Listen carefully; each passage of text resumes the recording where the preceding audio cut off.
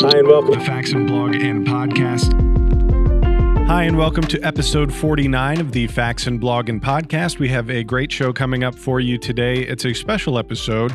We're trying to put in place, just all one singular place, all of the best information that we've put together over the course of the last couple of years on everything about our barrels. So, we're going to be talking about quality inspection. We're going to be talking about uh, the Barrels 101 episode where we went through all of the different profiles and fluting and so on talking the difference between duty and match series, talking about steel types, coatings, extensions, uh, and so much more, including information on our integral barrels as well as our pinned gas block barrels. So, hopefully, this gives you the one stop shop for everything you need to know about Faxon barrels and to help uh, inform your next barrel purchase or shopping event. Before we go any farther, I do want to let you know that today uh, we have a special giveaway brought to you by our friends at Lockdown and Crimson Trace. For this episode, we are giving away a Crimson Trace CWL 300 tactical flashlight, as well as a Lockdown Puck uh, smart security device. Uh, so make sure you enter to win for these. You can go to faxonfirearms.com slash blog and click on episode 49 for all of the daily entries. So make sure you get those in each day, and uh, this giveaway giveaway will run through Wednesday of next week. So, without any further ado, let's go ahead and take a look at the Faxon Barrel Supercut episode. These are Faxon Firearms barrels. Quality is embedded in our barrel DNA from the very beginning. Unlike many barrel manufacturers, Faxon barrels are not merely milled from blanks, but are manufactured right here in our Cincinnati, Ohio facility. Let's start with the Duty Series. Crafted from 4150 CMV steel, Faxon Duty Series barrels are durable, reliable, and hit the market at a competitive price point. The Duty Series sports an 11 degree target crown and is available in a variety of calibers and profiles. Next is the Match Series. Faxon Match Series barrels are made from 416R stainless steel they include enhanced 5R rifling and 11 degree recessed target crown and a nickel Teflon coated barrel extension. Faxon pinned gas block barrels take the quality and accuracy of our barrels and include the added security of a pinned gas block. Selected from our most popular barrel models, we take the biggest headache out of pinning your gas block by pre-notching the gas block journal right here in our Cincinnati facility. Each pinned gas block barrel comes with the pin as well as a pre-drilled low-profile gas block. Faxon integral rifle barrels are the perfect choice for any shooter who is looking for the maneuverability of a shorter barrel while maintaining the ATF 16 inch minimum length requirement. There is no need to find a capable gunsmith to pin and weld a muzzle device. The integrated muzzle devices maintain clearance for both gas blocks and barrel nuts. All Faxon barrels are fully stress relieved, air gauge tested, magnetic particle inspected, and individually checked for headspace by precision custom hardened gauges. These are Faxon barrels, backed by Faxon's lifetime guarantee. And this is Faxon Firearms. We'll be right back with more of the Faxon Blog and Podcast right after this. Hi and welcome, Hi and welcome to Faxon Since 1994, Crimson Trace has defined and built the laser sighting category through design, innovation, and performance. With an obsession to create best in class electro optics, Crimson Trace is proud to further enhance the experiences of shooters, hunters, and rugged outdoor enthusiasts. Learn more at crimsontrace.com here to elevate confidence in moments that matter. All right, so let's hop right into it. Things to consider when you are picking a barrel. Um, you know, Pat, let's start with you. When when you're barrel shopping for yourself, or maybe you have a friend or a family member asking you, okay, "Where do I even start?" You know, what are some of the things that you tell them to consider? First and foremost, um, you got to kind of define your role. You, you need to determine before you start buying parts what is this rifle going to be doing or pistol or you know any other firearm for that matter. So that's that's the most important thing. Um, there are some caveats with local and federal laws. So if you want to build a rifle federally you have to have a 16 inch minimum overall length for your barrel. Now, that can be in the form of a 14.5 that's been pinned and welded, or alternatively, you could go with something like our integral muzzle device barrels, where the muzzle device is machined into the barrel, but it still meets that overall length of 16 inches. So once you've kind of got that piece out of the way, you have to determine what purpose is this going to serve and and it may not necessarily be just one role so you may have an AR that you want to build that you want to use for home defense, but you're also going to be doing some general just plinking or target shooting or even maybe some competition with. So, a lot of the different roles for these, um, or a lot of the different roles can be filled by the same gun, but you do want to kind of lay those out before you start purchasing parts because your role is going to dictate how you build out the whole system um, once you move, you know, from buying just the barrel. And Mark, how about you? I mean, do you, when you get this question, are, are people generally asking you profile questions? Are they generally asking you like length questions? Uh, when when people are shopping for barrels and they're asking your advice, kind of what's the first thing they they jump up to with you? It, I, I, agree with what Pat says. I mean, you have to determine the purpose of the rifle. Um, you know, personally, I like having specific builds for specific things, and depending on if you're starting out and need something that does a lot of different things well, or or something specific like punch and paper, for example, or if you want to do a, a course where you're going fast and lighter weight helps. Um, so I try to narrow down with folks what is the purpose, and I agree with Pat on that. That's probably the key thing. But let's go ahead and talk about some profiles of barrels, um, and the you know the first kind of granddaddy of them all, uh, you know, would be that government SOCOM uh, style. Um, you know, Mark, where would people have first kind of seen this profile, and you know, how long has it been, or maybe was it you know one of the primary uh, you know primary barrel profiles. You would first see this profile back in the 80s when they went to the A2 and they heavied up the barrel a bit, you know, in the front and so on. So that would have been its origin. And then the M4 is kind of a type of government SOCOM with the cut for the M203. Um, but that's that's kind of where they got started, and it's I guess it's one of our more popular profiles. Yeah, and Pat, why why do you think that is? Why do you think that even after all the you know leaps in barrel manufacturing, you know, not just us, but you know, a lot of you know, modern manufacturers included, even with all these things that that we could do now, you know, why do these kind of larger, heavier, you know, bigger profile bar- uh, barrels? Why are they still, you know, a, a leading seller even for people like us? A big part of it is it's it's kind of a tried and true profile. It, like Mark said, it's been around for a, a long time. Um, people are used to seeing it. People know it. As far as profiles goes, it's not a bad profile. Um, it's a good medium weight, you know, just kind of general use profile. Um, that serves its purpose. It's it may not be the most ideal for every situation. You know, like we talked about before, situation dictates what you're using. You know, it, it may not be it may not be heavy enough for a long range target shooter, and it may be way too heavy for the guy doing the ultralight build. Um, so it, it falls kind of right in the middle of the spectrum, and, and I think that's that's what people go for a lot of times is they want a little bit of both worlds. So yeah. they they think that fits the role. Let's go ahead and move to our pencil uh, profile. Now the the big thing with this and i think we should probably address it up front is the historical reputation of pencils. So i'm not saying our pencil barrel um, you know since we've been around since 2012 but we're talking historical, I don't know, what, what, would you say, Mark, 60s, 70s, 80s when people were first trying to make pencil barrels and they were just kind of like straw tubes? You know, it just, it, it, you, they couldn't do the same type of manufacturing stuff that we do. I mean, the original AR 15 was pencil. So that was kind of the idea lighter weight, easier on the soldier, and so forth. Um, I think the heat relieving has improved quite a bit since then.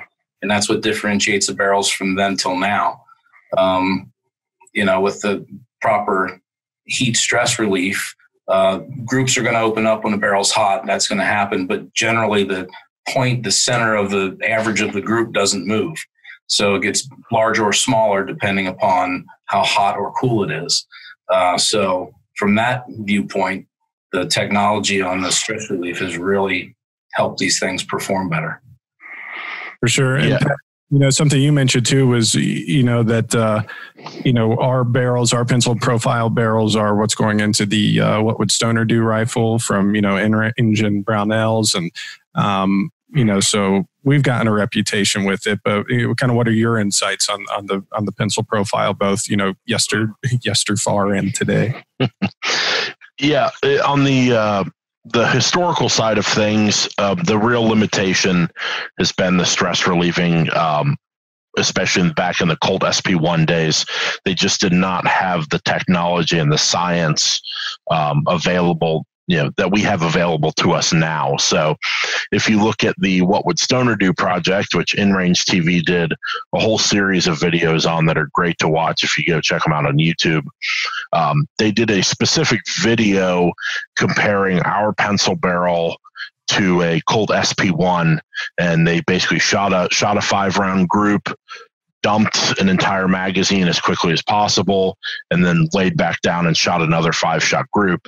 And what they're trying to show is that the center of the group still stays the same with a properly stress relieved modern pencil barrel whereas with the colt sp1 barrel the groups were kind of all over the place like you couldn't you couldn't pick a center point of the group because it was flinging rounds you know high right low left way off the target, you know. So it's kind of all over the place. Whereas with the modern pencil barrels, the groups will open up, like Mark said, you know, they will get larger in size, but your point of aim and point of impact is not going to shift. Now, something that you mentioned there is obviously heat and how they, you know, as the barrel heats up, regardless of profile, is going to impact your your grouping you know whether whether that's a you know five shots or ten shots or however many as long as that barrel keeps heating up you're probably going to see that expand a bit. Um, and mark when you and i were talking earlier you know i keep thinking of heat dispersion and heat distribution and, and i think you put it in better terming with heat saturation. You know yes the pencil barrels heat up quicker but they also cool down quicker. Could you just say you know maybe share some of the the perks of that or maybe the shortfalls of that or, or you know what you think maybe people don't think of when they're thinking about heat and pencil barrels yeah i mean uh, there's a reason why paper punching guys use heavy barrels you know they can shoot them hot and they, they keep their groups better longer uh, these barrels there's not as much material there so it does heat up quicker and you're going to see that group open up but with the point of impact not changing, the average, the middle not changing. Um, you know, if you're ringing steel at a couple hundred yards, it's really not going to affect you that much. Um, the other thing is they do cool off quick, and as they cool off, the group will shrink back down. Got it. Well, let's take it and put it in the best of both worlds. Uh, looking at something that is, you know, really a, a, a, kind of a Faxon staple, if you will, is our own uh, profile, the gunner profile. People love it because it it is kind of the best of both worlds between the lightweight benefits of a pencil and the benefits of a more you know mid-weight uh, government SOCOM profile. So the big thing it does is it removes the weight that the SOCOM has out front of the gas journal it removes that completely and goes to a pencil profile. So you have the the ability to maneuver a little bit quicker. You can, if you're doing competition or just shooting for fun and you're transitioning between targets, it allows you to swing the front end of that gun quicker. It retains the weight in the rear, so you still have some of the benefits of the the slightly heavier profile back closer towards the shooter, um, which gives it a lot more balance. You're not dealing with heavier weight out at the very end where it's furthest from your body. It brings the, it keeps all the weight of the barrel closer to the shooter. Um, so even though there's not a significant difference in weight between the the SOCOM and the gunner, it it has a much better feel to it just because of the balance of it. Well, I agree with Pat on all the maneuverability of it, but the other thing is you're getting some more mass back there uh, for that heat saturation that we're talking about with a pencil. So it does a little bit better with the heat saturation. And then uh, guys who are doing uh, dissipator type builds or whatever, the gas block journal is actually 1.9 inches and it'll fit an A2 on there for guys that want to do that. Let's, uh, we have a couple more quick things that I want to hit just because, uh, you know, they aren't necessarily profiles, but they definitely go into the barrel shopping uh, and AR build equation. And that is talking about fluting. And, uh, you know, especially for your larger, you know, your larger size loads, just these things are starting to get heavy, uh, longer lengths, larger rounds. All of these things are starting to really put a lot of weight on there. Um, and so that's where fluting comes into the picture, where you're trying to reduce um, some overall mass, but you also need to keep that rigidity. You need to be able to have good heat dissipation. And we do what you see uh, on top here is an example of our heavy fluting and then our patented uh, flame fluting. Um, Mark, you want to give just kind of the you know hundred foot view of of what fluting is all about, and maybe some of the features that people see on some of our barrels. Yeah, the uh, fluted barrels are going to be for the guys who like punching paper or hunting. Um, my favorite barrels are heavy fluted. So the flutes add rigidity, they add uh, surface area for cooling, um, and I don't know. They're just they're they're one of my favorite profiles personally. So the other thing that you know we could talk about with fluting is just the sheer fact that this weight reduction happens all the way up and down the barrel. So you know we're talking about weight being removed all over the place and not just you know after a gas journal uh, or just at one end of the barrel. Um, Pat, you want to speak to that and maybe how it affects you know overall weight and and just balance of the barrel itself? Yeah, the reason people love fluted barrels so much is it gives you a kind of a best of both worlds. Just like our gunner profile is a great balance of the SOCOM and the pencil, fluted barrels offer you the diameter of a heavier profile barrel to, barrel, and with that greater diameter comes better rigidity, you know, better handling of heat, see typically. Um, but it also has the benefit of being a little bit closer to a medium weight barrel because when you do those flutes in the machine, you're removing material. So when you're pulling that material out, you're pulling steel off of the barrel, and that means you're reducing the weight. So it, it it's a way to balance the the, the good parts of both a heavier profile barrel and a midweight barrel. And our barrels fall into two categories our duty series and our match series. This is a, a page lifted out of our product catalog for the year. Um, the one thing to remember is all of the kind of hardcore stuff about how we manufacture barrels, you know, the, uh, the mag particle inspection, all the heat treating, all of that kind of stuff, salt bath nitriding, all of that stuff is the same um, duty series and match series where you start to come into a little bit of difference is going to be with uh, the type of rifling we're using in each, and obviously the nickel Teflon extension and so on. Um, Mark or Pat, do you, which of you would like to talk about maybe the differences between our duty series and the match series first? Well, the uh, the the there, there's a couple key differences between the the two categories, and and um, for some of our barrel profiles, we offer them in both variations. So we kind of let the consumer pick, you know, what what role you're trying to fill and what fits your needs best. Um, the main differences between duty series and match series are going to be the material. The duty series is 4150 chrome vanadium. The match series is 416R stainless. So with the match series, we're giving a little bit or we're taking a step forward towards imp- um, giving you a better chance of shooting more accurately. Um, we always like to phrase it that way because it still comes down to the shooter. Um, so, but we're going to give you a couple technical advantages with the match series. So, 416R stainless, when you button rifle it, takes the form of the button slightly better than 4150. So, it has the potential to be more accurate um, because it it mimics the, the bore mimics the shape of the button a little bit better. Another big difference in the match series is going to be 5R rifling. Um, you know, so we've got a great blog post that walks through all of the the benefits of 5R rifling, and that's available on all of the match series barrels, uh, all of the match series rifle barrels. And then for the rifle barrel line, the other big difference is going to be the nickel Teflon coated extension. So when you're looking at this image or you're looking at product images, the easiest way to pick a match series barrel out is that it's got a silver extension on there rather than a nitrided black extension. The nickel Teflon has a little bit better lubricity, so it's going to be easier to clean and it's going to help with feeding a little bit better. Um, it's just you know an added little benefit, a nice touch for functionality and to get you a little bit more of a premium product. Um, the final difference is going to be the crowns of the barrel. So the crown is, you know, at the end, that's the last, it's where when your bullet comes out of the barrel, your gases hit your crown. If you have a bad crown on your barrel, it's going to completely ruin your accuracy. Um, and you'll, you'll shoot a bunch of ammo trying to figure out what the problem is. And it's, it's a crown issue.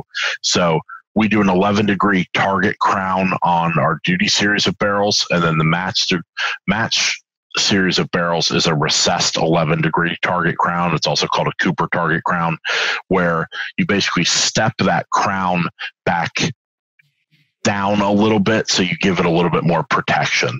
Um, especially when you're talking about more accuracy oriented barrels a lot of shooters will not put muzzle brakes or muzzle devices on there so they may be going to the range with just a bare crown and it gives it that added layer of protection that you know if you bang into something or you hit it on a concrete bench or you know something like that that you're not going to completely trash the accuracy of your rifle We'll be right back with more of the Facts Faxon Blogging podcast right after this. Hi and welcome to Faxon Blog and Podcast.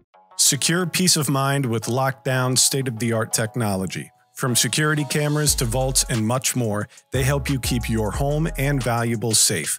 Lockdown Products monitors and provides constant connectivity for your high value, high consequence items. Learn more at lockdown.com. It's not secure unless it's on lockdown. So, Jay, I was thinking maybe we could just break down between uh, kind of the major lines, our duty series and our match series, and the different steel that is used in those, and why we have chosen the things that we have chosen. Yeah, absolutely. So, um, our duty series uses all uh, 4150 chromoly vanadium uh, steel to. Maybe over here. Ooh, ooh it's Ooh. getting personal. All right, now go. uh, 4150 chromoly vanadium steel uh, yeah.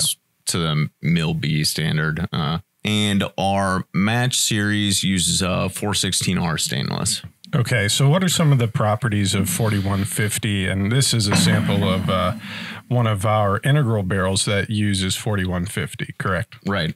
Right. So I, I think the differences between them are slight, but um, you would think that um, 4150 is generally a, a better steel in applications that um, require higher heat or more extended heat. Um, you know, both both barrel materials have have good um, solid wear characteristics. Um, you know, but 4150 would would mainly be used when when you're expecting uh, more prolonged heat or higher heat, uh, and 416R um, machines slightly better. Uh, it's actually uh, extremely uh, machinable stainless, uh, so you can get preciser cuts in it.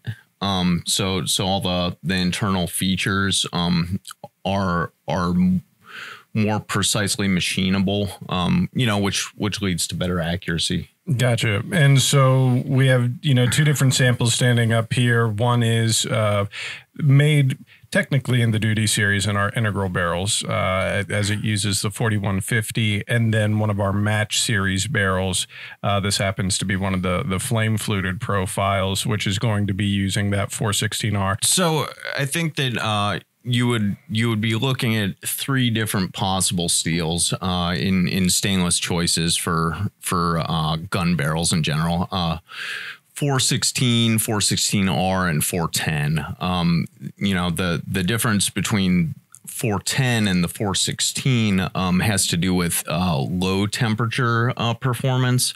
So uh, we use 416R, which which is much better than 410 in extremely cold situations. Um, you know, down to about negative 40. Um, 410 can be uh, prone to to cracking and failure in that range. Okay. Um, so uh, the difference between 416 and 416R, uh, I think the R blend actually was um, a Crucible Steels uh, proprietary blend at some point, um, but the uh, the differences have to do with uh, lower sulfur content in the 416R and the uh, introduction of uh, molybdenum. the introduction. molybdenum. Molybdenum. Uh, molybdenum, Yeah. uh, you know, which adds some corrosion resistance to the steel. Uh, you also have that in the the 4150, you know, so the 4150 chromoly vanadium. Uh, yes. You know, the molybdenum, you Yes. know, is adding some some corrosion resistance to that. So Okay, and regardless, I mean, we still do the salt bath nitride on on both uh, barrel series and and pretty much everything that we make. It seems like there's uh, you know as far as barrels and bolt carrier groups and and things like that are concerned. yeah, Um, absolutely. What is you know for those who don't know, um, what what attributes does salt bath nitriding have, and then maybe what are some uh, what are some other treatments that you know people might find elsewhere on the market that isn't salt bath nitride? So salt bath nitride um,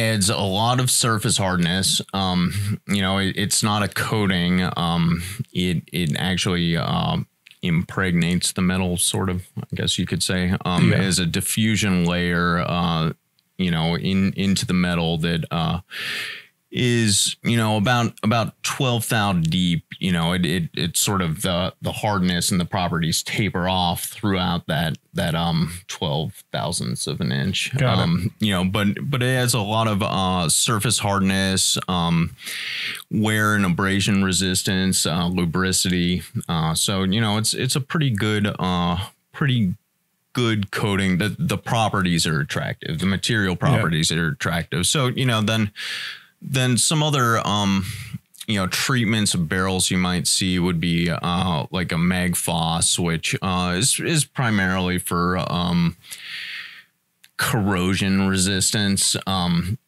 you would generally see magphos paired with like a chrome lined uh, i mean i guess not generally. You would often see magphos uh, paired with chrome lined although there are some uh, discount barrels that just get magphosed um, Okay. also some discount barrels that just get black oxided which you know does nothing really it's Yeah. it's just uh And especially when you're considering life of the barrel and corrosion resistance and things like that.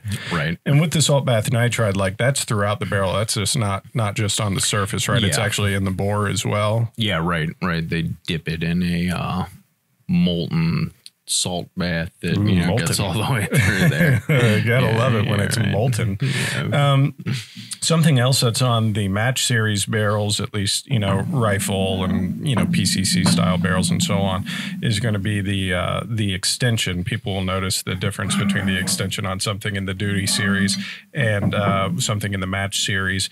And even though it might be covered up on some of the coated barrels like the TiN PVD and the Chameleon, we still have this nickel Teflon extension. What what the how is that an upgrade for for the Uh, barrel buyer? that is a uh, extremely slick surface. Yeah, Yeah. real high lubricity. Um, you know, good good uh, solid wear characteristics. Um, you know, it, it's a it's a hard coating, uh, so you know it doesn't just rub off. Um, you know, but but mainly has to do with lubricity. you know what's the you know kind of the the process with with pistol barrels over you know over a rifle or a carbine barrel or what have you i mean obviously it's not like you know there's no like nickel teflon extension on a you know on a pistol barrel or, or what have you Yeah. but over and above all is it is it pretty much the same salt bath nitriding um Yeah, same sort uh, of properties I mean, the the only real difference in the process um,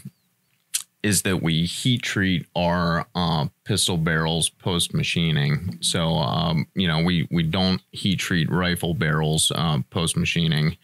um, you know, we, we stress relieve all our barrels, uh, pistol and rifle, but our pistol barrels go through a separate heat treating process post machining. And what does that what does that do for the barrel after uh, doing it after the? Um, you know, I, I, think a lot of it has to do with with locking lugs. Um, you know, the pistol barrels have have more you know internal geometry that that has to interact with slide and frame. Uh, you know, so so this is uh, adding a little extra hardness in there. Yeah.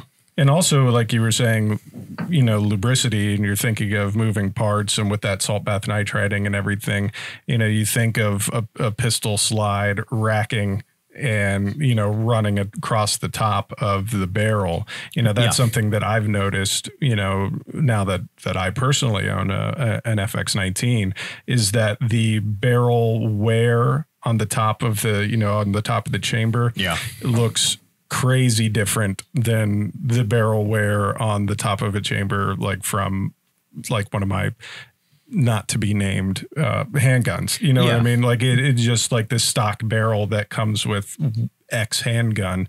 Uh, you know, it it's already easy to tell the the difference of the type of wear that it's getting. Now, Jay, we talked about uh, some of the coatings that a lot of people see as just aesthetic, and that's okay.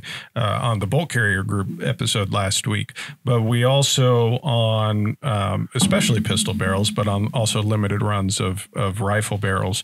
Um, you know, we'll do either you know like this chameleon or the golden hued uh, TiN PVD.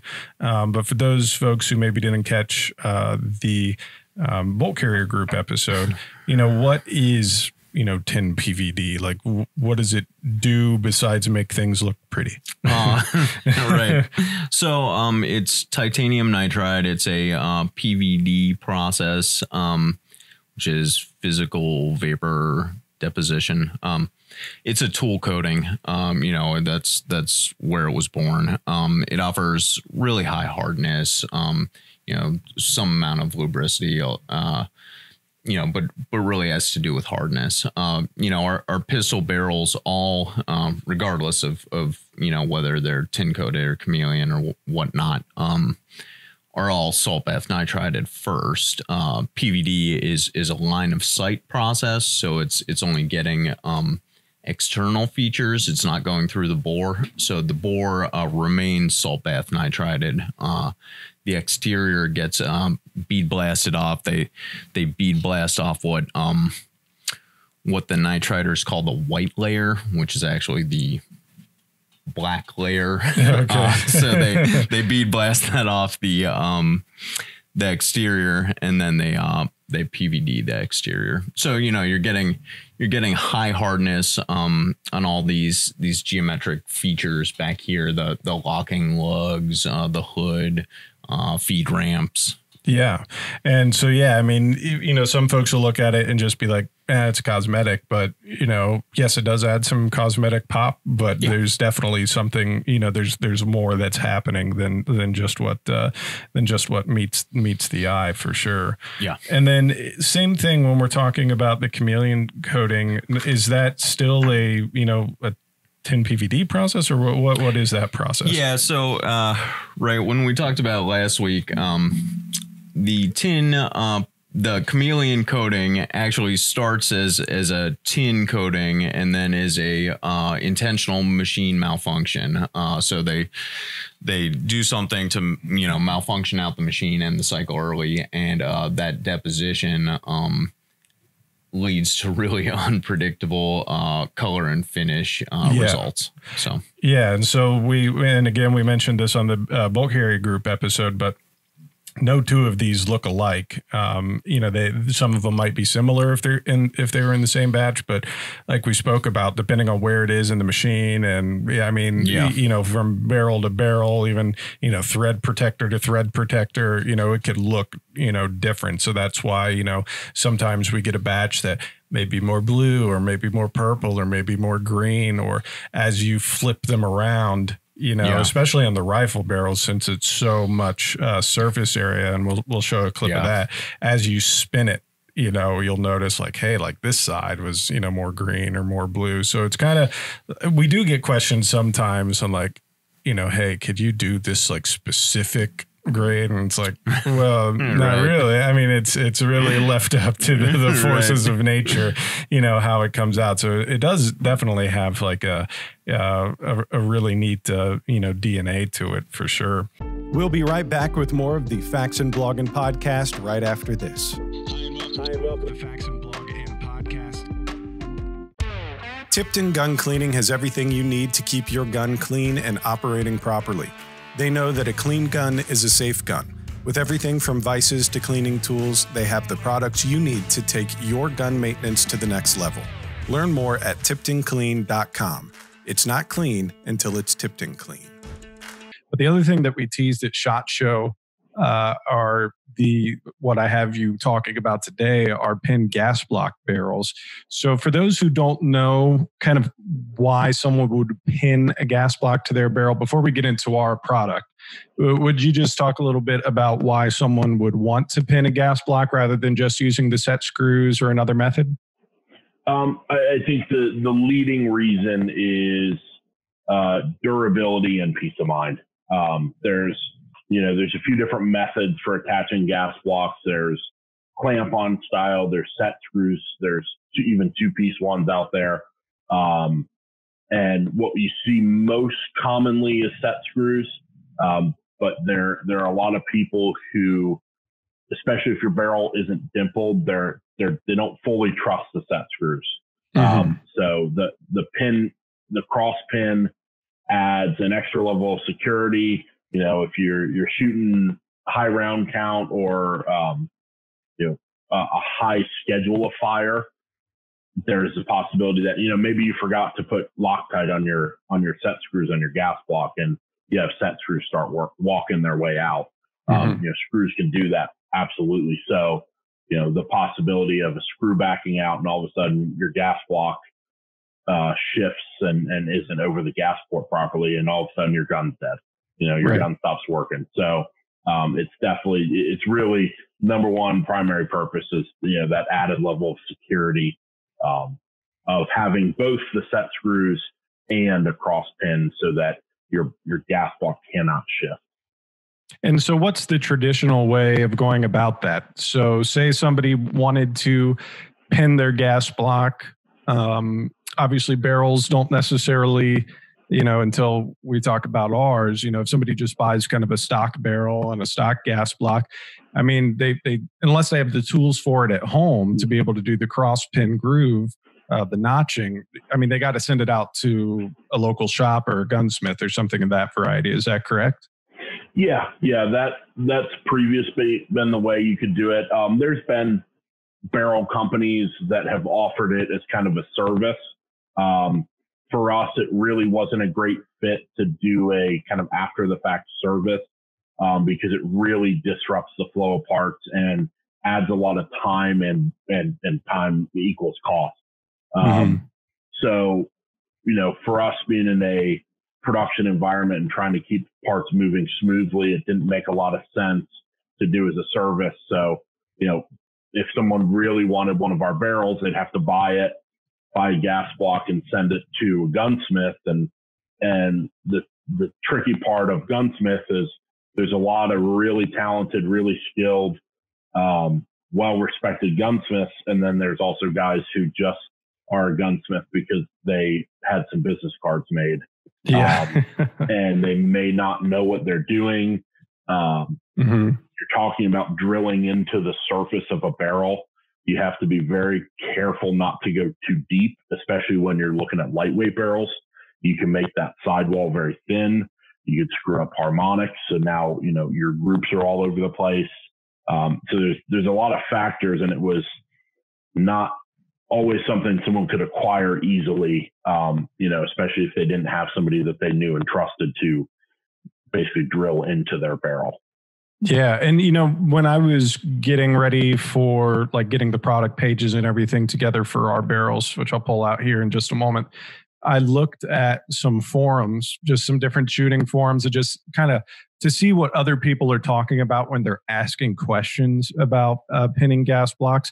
And a lot of people were talking about, you know, uh, just the additional cost. Everybody was like, okay, well, well, how much does it cost? Like, how much does a gunsmith, you know, charge to do a service like that and all that sort of stuff? And I mean, it ranged everywhere from like 25 to like 125. I mean, it was kind of all over the place on how much it would cost because like you said you have a, a kind of a grab bag of experience levels and professionalism levels and you know is this a legitimate shop or some dude in his basement who's like yeah i got a vice and a drill i think i could i think i could handle that but this is uh, one of ours and i'll, throw up some uh, prettier images since this will be a little hard to see on the webcam um, but this is one of our pinned gas block barrels. Now, this is one of our gunner profiles. So, if you are uh, familiar with our proprietary gunner profile that kind of mixes the best of both worlds from the pencil and the SOCOM. But this is basically how it ships. It ships with the barrel, the gas block uh, with the set screws hand tightened on, um, as well as the cross pin. But what you'll notice, and we'll show you uh, a larger image of this, is the fact that the notch is already there. So you can see that um, you know it's done well. It's not chewed up. It's not biting into your finish. Obviously, we know that it isn't too far, uh, you know, into the sidewall that it would cause any sort of uh, malfunction or issue. Um, but you know, how does this? How do we do this? And as far as like machining is concerned, like where does this happen in our process? Uh, kind of how how do we get there? So that happens right after the gas port is drilled and the barrel, um, the receiver extension pin is drilled and pressed in. So the gas port and extension pin, which is the little silver or black pin that slides into that notch of your upper receiver. Um, those two things are done at the same time because they need to be perfectly in line with each other. Um, so that you're not having where your barrel is your gas port slightly off center and now your gas block has to sit off center and it, it causes all kinds of issues. So those two operations are done at the same time. And then right after that, we notch the barrels in, in production in one of our mills. Um, we've got dedicated fixtures built for it.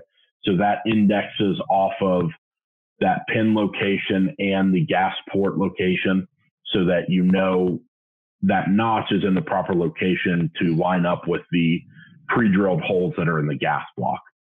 Yeah, so this is like coming at it as it's coming together, you know, and then it hits our QC again before it's mm-hmm. done anyway, you yeah. know. So it's it's not like uh, you know taking and I, and don't get me wrong, I don't want to poo-poo talented gunsmiths who do this all the time and there's no problem.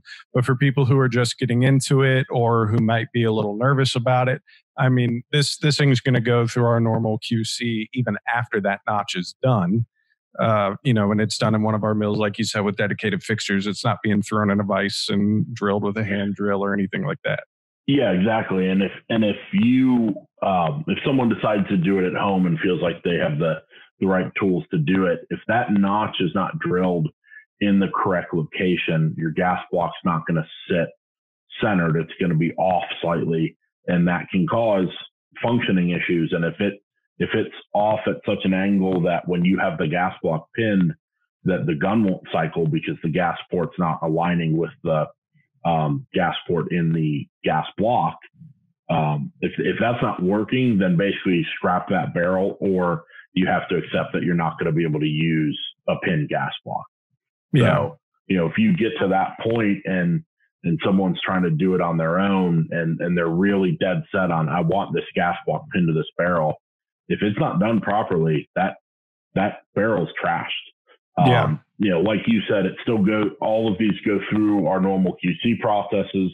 So in the unlikely occasion where we mess something up that's still covered by our guarantee, you know, we're going to hundred absolutely replace it. Um, no, ma- no matter what. So you have that assurance where you don't have that if you're having someone else do it or you're trying to do it yourself.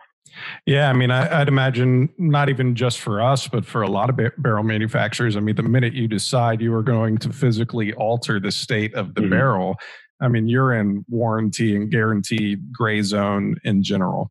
We'll be right back with more of the Faxon Blog and podcast right after this. Hi and welcome, Hi and welcome to Faxon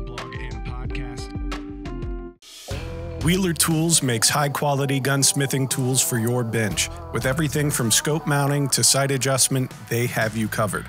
No matter what the project, Wheeler Tools is engineered to fit the job. Learn more at wheelertools.com.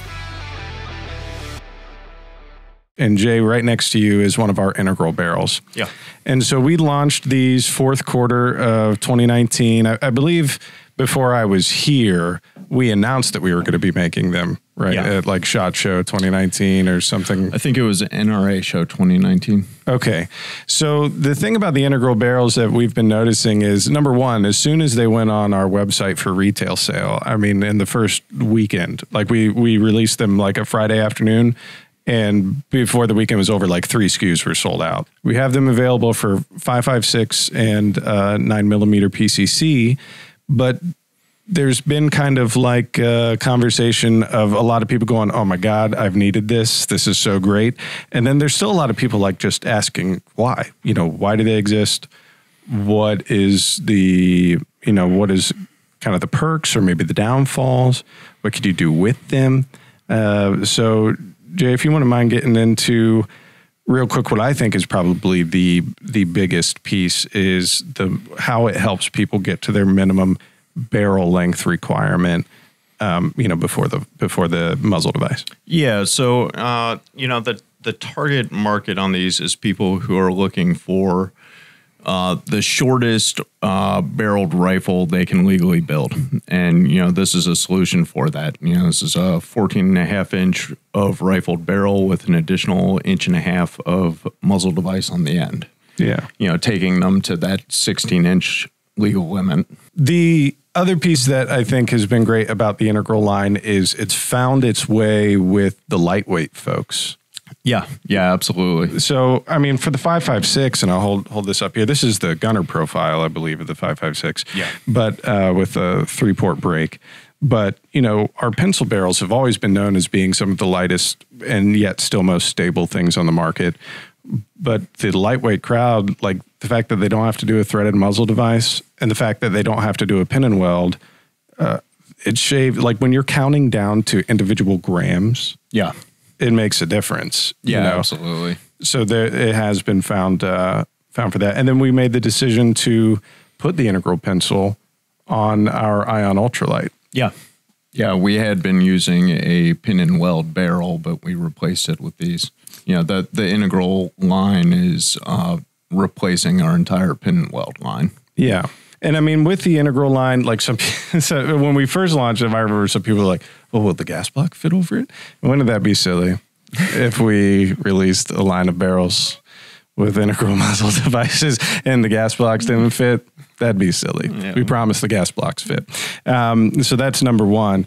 And number two, we we have been asked, are we going to do other calibers? Are we going to do other profiles and things? And and Jay, something I hear you say a lot when we talk about product is, you know, we we gauge market demand. Yeah, it's it's all about market and customer demand. You know, I mean, we're open to uh, all sorts of expansions of product line or or new product line, but um, there has to be a demand for it. You know, Yeah. we have to have customers writing in about it. We have to hear that the market as a whole can support it. So Yeah, for sure.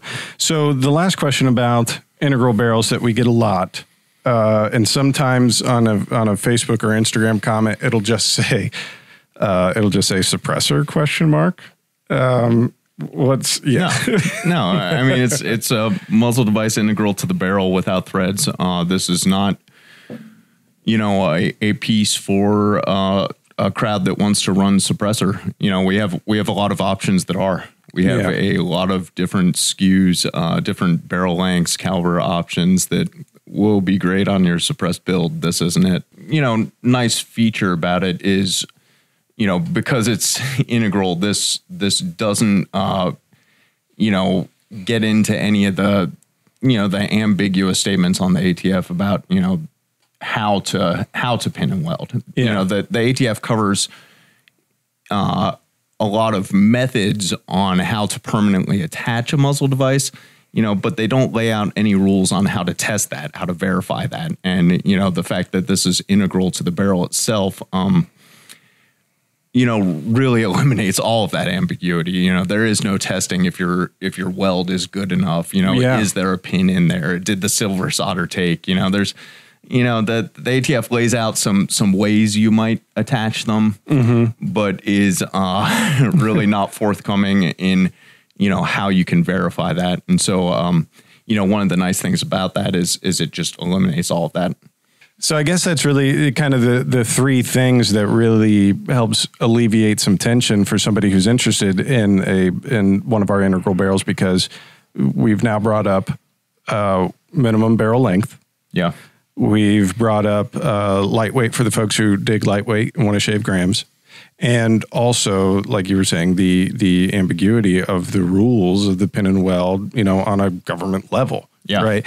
And so, also too, I mean, uh, I'm sure you could find as many fail va- videos on YouTube as you want of muzzle devices blowing off and all that kind of junk. That's not going to happen here. On the engineering side, like how does this come in? How does this start? I mean, this starts as just like raw steel stock, it's- like it's we always just- get, right? It's all just bar steel stock. Yeah. And so, and again, this, there's no seam, you know, there's nothing that you could see here that would, you know, make anybody question whether or not it's integral. I mean, it is obviously, as you look through the profile, that is all, all just one piece. Yeah, yeah. There's there's going to be no uh, uncomfortable taking it out at the range and you know hoping that you know anybody who sees it understands that that's a weld spot on the bottom of it. You know, Yeah. and this is permanently attached. And no, I don't have you know an illegal short barreled rifle. You know, this is this is integral to it. And you know, I mean that's that's a fear I've always had at at ranges. You know, with with a short barreled rifle. Uh, I mean, with a you know pin and weld barreled rifle is Yeah. you know hey, this is permanently attached, you know, even Yeah. if I did, you know, grind over the weld spot and, you know, put some re-black on it, you know, Just to make it look nicer. right. or You know, it's sort Yeah. of an uncomfortable feeling, you know, wanting to make sure that, you know, nobody thinks that you have an illegal short barreled rifle. We'll be right back with more of the Faxon Blog and podcast right after this. Hi and welcome, Hi and welcome to Faxon Blog and Podcast.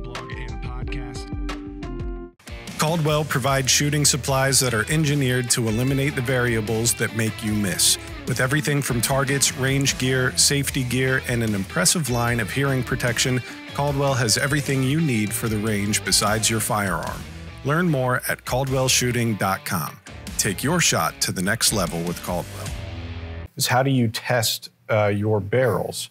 And there's there's several different processes that it goes through, obviously uh, for for testing. But uh, if you were to just take the thousand foot view, Jay, what what is the kind of the the testing procedure and quality procedure for uh, barrels? Okay, so uh, yeah, the the quality procedure. Um, so our barrels are machined in in you know a, a number of different steps or or ops as we call them, and um, at every op there are individual quality checks. You know, every time any machining operation is done on on any part, barrels included, uh, you know, there's a, a first article part that's made, which is the the first piece that's made goes to QC and and they check for, you know, various things that were supposed to be accomplished during that machining process. Um, you know, and they check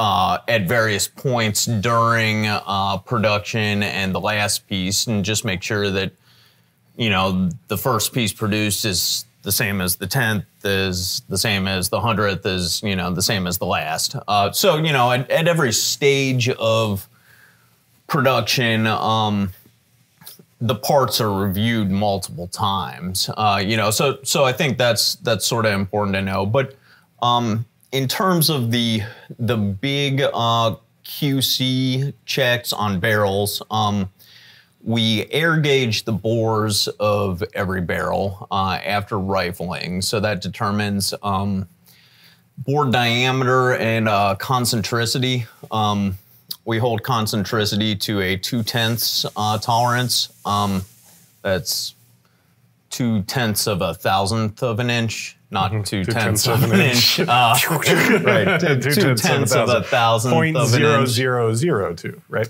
Right. Right. Um, you know, so that's a pretty important check, and um, you know, it's it's um, it's pretty critical for the accuracy of a barrel that that the the bore be held that close. So you know we ch- we check all that with air gauging. Um, let's see, all of our barrels run through a magnetic particle inspection after profiling. Um, so that is checking for um, seams or cracks or defects in the material.